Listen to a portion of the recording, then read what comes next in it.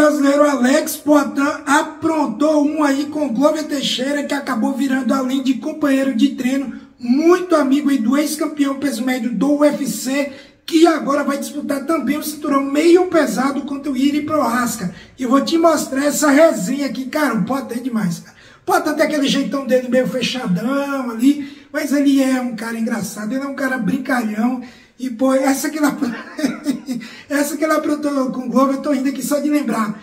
Pô, o Globo não gostou muito não, hein? Fechou a cara pra ela, eu vou te mostrar. Antes, vai se inscrevendo aí se ainda não foi inscrito. Vai deixando o like se gostar do conteúdo, ó. Batemos a marca de 10 mil inscritos e eu dou a missão pra você que tá do outro lado me assistindo. Vamos bater 15 mil ainda em 2023. Tá para essa missão? Então larga o dedo aqui no botão de se inscrever e também no like se gostar do conteúdo e bora lá! Olha só a sacanagem que eu vou fazer com o Glover papel, é, guardanapo, pra lavar a mão, eu vou falar pra ele que é, é de comer.